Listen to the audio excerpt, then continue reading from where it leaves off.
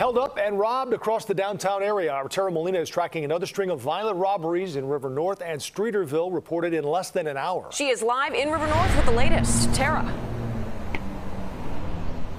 Marie and Joe, this is where that robbery spree started here on North Dearborn. A man held at gunpoint and robbed. We know there are at least five other victims.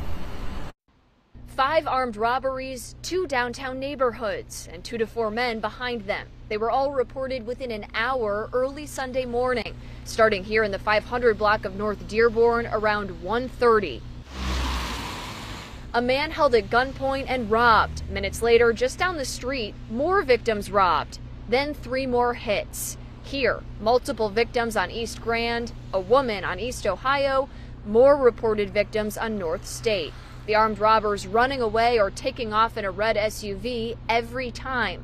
With surveillance cameras all over the areas these robberies were reported in, we reached local businesses for video, but none would share it today. Chicago police tell us they're still looking for the men behind the spree. With St. Patrick's Day celebrations planned and coming up this coming weekend, we asked Chicago police and city officials what's being done safety wise. What are they doing to make sure all of this doesn't happen again? We've got more on that coming up at 6. Reporting live in River North, I'm Tara Molina, CBS 2 News. We'll see you then, Tara. Thank you.